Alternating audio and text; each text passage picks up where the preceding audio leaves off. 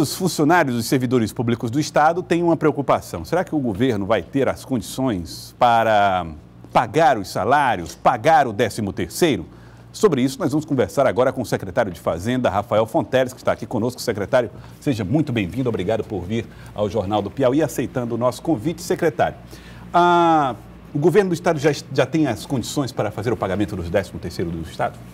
Sim, boa tarde, Joel, boa tarde aos telespectadores. De fato, a tabela dos servidores será cumprida, tanto o pagamento de novembro quanto o pagamento do 13º salário, que é feito no mês de dezembro, a segunda metade, porque a primeira metade é feita no mês de aniversário do servidor, quanto o mês de dezembro, que é pago no início de janeiro.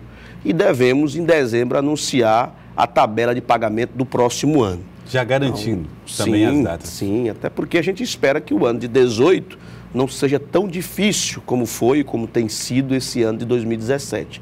O governador já nos deu uma prioridade, a prioridade é o pagamento da folha, então nós fizemos um contingenciamento rigoroso em todas as demais despesas, praticamente zeramos o investimento com a fonte tesouro, o custeio sofreu cortes enormes, até com um decreto do governador que foi feito, para poder garantir essa prioridade. Uhum. Mas as dificuldades continuam e agora é fazer frente a mais recursos para que a gente consiga também resolver pequenos atrasos que nós temos sofrido com alguns fornecedores. Então, a ideia agora é partir para essa segunda prioridade para que tudo volte à sua normalidade. Mas a primeira prioridade, que é o pagamento dos servidores, está garantido depois de um esforço muito grande do governador Wellington Dias e da sua equipe econômica. Então, o, a chance de atraso, tanto de, de 13 terceiro quanto de salários futuros, chega perto de zero. É zero. É zero. Zero. Não tem mais possibilidade nenhuma. Você falava antes a respeito do receio que isso acontecesse. E tinha o um risco realmente, mas ah. o governo conseguiu fazer esse dever de casa. Repito, contingenciamento rigoroso nas despesas. A arrecadação é a que cresceu mais do Nordeste. Sim. Talvez terminemos o ano em segundo do país tomamos medidas duras, algumas delas até impopulares, mas necessárias para o estado do Piauí não colapsar. Então aqui não vai colapsar, como diversos estados da federação estão colapsando. Então o esforço continua, o rigor nos pagamentos no final desse ano vai continuar, só vamos pagar o que for essencial e por isso podemos garantir o pagamento do servidor. Ah, você falou de dever de casa.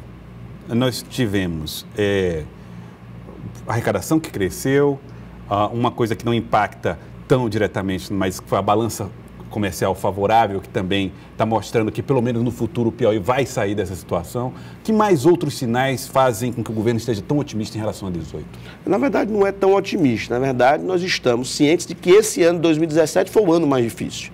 Você vê que 2015 foi um ano difícil, 16 piorou e 17 mais ainda mas a curva está invertendo a curva que eu digo do crescimento econômico do país.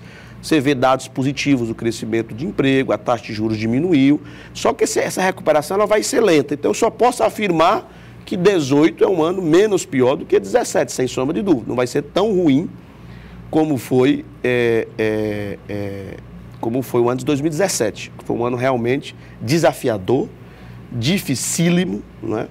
e felizmente conseguimos chegar ao final do ano cumprindo pelo menos com aquilo que é essencial. Muitos servidores que, muitos funcionários de empresas terceirizadas têm enviado mensagens para nós falando de atraso do pagamento dessas empresas terceirizadas. Isso é fato? Por exemplo, os servidores do Detran fizeram agora uma reclamação. Olha, Isso tem acontecido? Veja bem, a responsabilidade é realmente das empresas terceirizadas. Que há pequenos atrasos, admitimos sim, mas nenhum atraso muito grande. Ocorre que essas empresas também têm dificuldades, né? todas as empresas do país de forma geral têm tido muitas dificuldades, então realmente é, não, não dá para transferir totalmente para o Estado. Claro que é uma responsabilidade solidária, ninguém está se furtando a sua responsabilidade. Mas em tese era para esses pagamentos serem mantidos independente de alguns atrasos que o Estado tenha. E nosso esforço agora, repito, é para ter um bom sucesso nesse refis, para podermos ter um recurso extra para normalizar todos os pagamentos essenciais do Estado. Uhum. Em relação ao aumento de arrecadação, a expectativa se cumpriu. Houve um aumento na arrecadação no estado do Piauí. Expectativas para 2018, secretário? Não, continuamos na mesma expectativa de ser um dos estados que mais cresce, até porque a Secretaria de Fazenda investiu muito em tecnologia, tem uma equipe valorosa, Né? Quero até agradecê-los, todos os técnicos, os auditores, os analistas, a Secretaria de Fazenda tem feito um trabalho muito intenso e que tem surtido efeito. E também nós tomamos medidas de aumento de algumas alíquotas que certamente irão repercutir numa arrecadação maior no próximo ano. Por isso que também a gente fica um pouco mais confortável é, em dizer isso, né? que o ano de 2018 tende a ser um pouco melhor. Empréstimo, é, operação de crédito do, do, governo do Estado, autorizado pela Assembleia Legislativa agora há pouco, em votação é, no Parlamento. Isso vai implicar que o Estado vai tomar dinheiro emprestado com bancos privados? 315 milhões? Olha, veja só, deixar bem claro para a população que esse era uma terceira operação de crédito que tinha sido aprovada junto à Caixa Econômica Federal.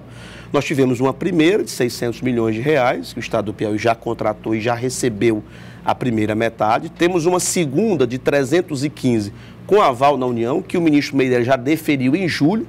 Estamos próximos de receber, assinar esse contrato e receber esse recurso. Contamos, inclusive, com o grande empenho do senador Ciro Nogueira, que é uma das pessoas mais influentes hoje no governo federal, e ele está lá lutando junto ao presidente para destravar essa operação. Então, esperamos que essa semana, no máximo na próxima, assinemos esse contrato e recebamos esse recurso. E teria uma terceira operação, também de 315 sem aval, que estava autorizado pela Assembleia, mas para fazer apenas com a Caixa.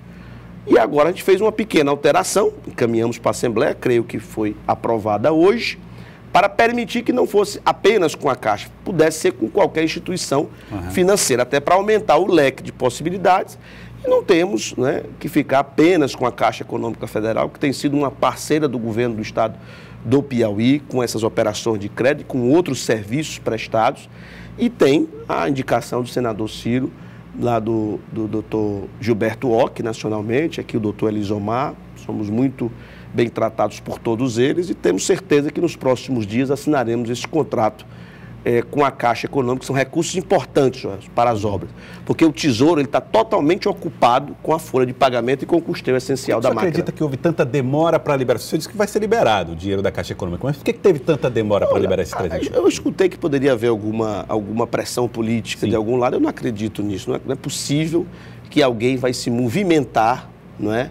para barrar uma operação de crédito que até o ministro da Fazenda deferiu e publicou no Diário Oficial da União. Não, não acredito nisso. acredito que foi a burocracia normal que nós tivemos e tenho certeza que superaremos mais essa etapa e assinaremos esse contrato nos próximos dias. Repito, são obras importantes para os diversos municípios do Piauí que estão aguardando e não teremos como fazê-las, essas obras, é, com recursos do Tesouro. Precisamos dos recursos das operações de crédito e o Piauí está no seu menor nível de endividamento da história. Portanto, temos o direito e esperamos receber esse recurso o mais breve possível.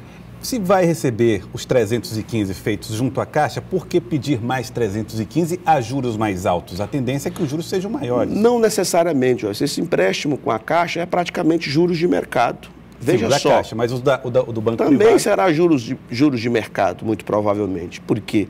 Porque existem os balizadores, a Selic, o CDI, que balizam esses, essas taxas de juros. Então, se for mais alto, será levemente mais alto, nada muito maior. Né? Até porque nós já estamos contratando, esse, por exemplo, esse empréstimo da Caixa foi praticamente a juros de mercado. Não houve subsídio de juros e nem houve juros internacionais, porque é um banco nacional. Pode até acontecer a gente conseguir uns juros até menor se for com um banco internacional que às vezes capta recursos muito barato lá fora. Pra você ter uma ideia, quem tem dinheiro aplicado no Tesouro Americano só recebe 1, 2% ao ano Sim. de rendimento. Aqui no, então aqui se a gente recebeu a, a 7%, que seria basicamente a Selic, seria ótimo para esse investidor. Então, a verdade é que nós não queremos nenhuma amarra com bancos, aumentar a possibilidade para que a gente possa é, fazer uma operação, uma terceira operação mais rapidamente. Mas repito, aqui está na agulha para ser assinada essa de 315 com aval da União, com a Caixa, Caixa Econômica, Econômica, Federal para obras importantes de mobilidade urbana em várias cidades do estado do Piauí que estão aguardando ansiosamente por essas obras. Quando o senhor foi a uma reunião com o governador Wellington Dias, com os, os líderes do Bradesco, chefes do Bradesco, se gerou a especulação de que o governo já teria mais ou menos encaminhado um acordo de empréstimo. Bom, veja só, tanto eu quanto o governador Wellington Dias conversamos com diversos bancos, públicos e privados. Então, eu já conversei com diversos bancos, inclusive bancos internacionais, estamos todo o tempo, Banco Mundial, Banco Interamericano, diversos outros bancos privados, tanto nacionais quanto internacionais. Nós temos esse diálogo até porque o Estado do Piauí é uma, digamos assim, é como se fosse uma empresa robusta, é um grande player, né? mesmo sendo um Estado pequeno, mas aos olhos dos bancos há interesse, né? uma relação importante. Então, assim, não há necess necessariamente que ser com o Bradesco essa operação de crédito. Nós deixamos lá, colocamos no projeto de lei, para que permita qualquer instituição financeira. E vamos negociar as melhores condições, em função do interesse público, as melhores condições, tanto de taxa, quanto de prazo, de carência, quanto de rapidez tudo isso a lei de tramitação. Aberto. A lei deixa aberto tudo isso, prazo, juros. Não, é, é, claro, todas as leis normalmente só decidem qual a instituição financeira ou deixam em aberto o valor e para que vai ser, vai ser usado destinado. esse recurso. Não necessariamente a lista específica, mas pelo menos o segmento. Vão ser rodovias, infraestrutura, é, fomento à produção, alguma coisa do tipo. Então, repito, o Estado do Piauí tem expertise em operações de crédito.